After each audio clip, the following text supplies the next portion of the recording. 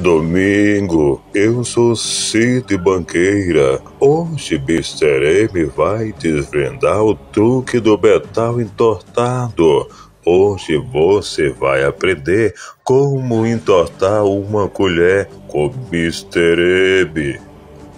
Mr. M começa a magia. Cuidado, Mr. M, para não machucar o caneco.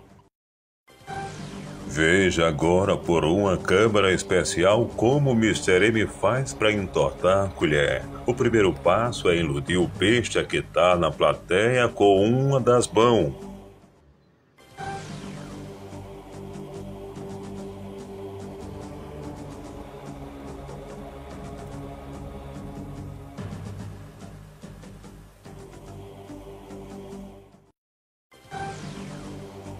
E agora que a mágica vai acontecer.